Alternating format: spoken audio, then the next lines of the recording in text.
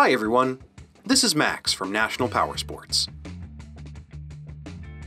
This 2022 Indian Springfield with only 42 miles is nearly new, still under factory warranty, and ready for the road.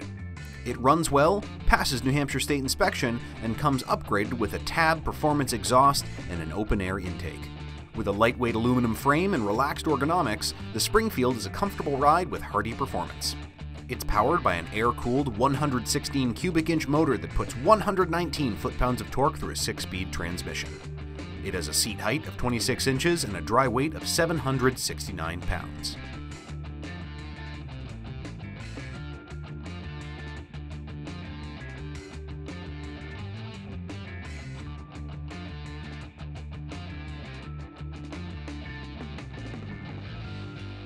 To see everything we know about this vehicle, including full mechanical and cosmetic condition reports, the service repair order, high resolution photos, and more, please review the listing on our website.